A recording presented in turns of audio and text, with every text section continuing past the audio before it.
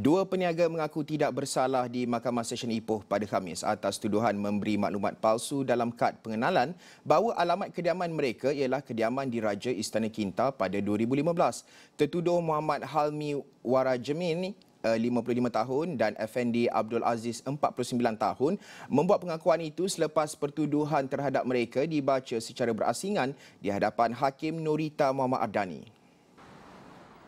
Mengikut kertas pertuduhan, mereka didakwa telah memberi maklumat palsu dalam material kad pengenalan bahawa alamat penuh tempat kediaman mereka di Malaysia adalah kediaman di Raja Istana Kinta di Ipoh yang mereka tahu bahawa maklumat tersebut adalah palsu.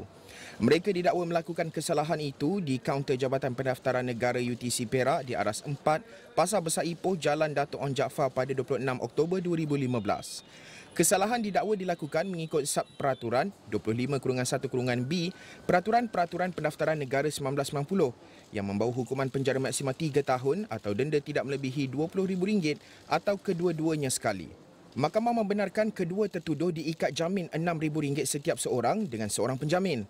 Di samping itu, Muhammad Halmi dikendaki melaporkan diri sebulan sekali di Balai Polis Kempas manakala Effendi di Balai Polis Subang Jaya.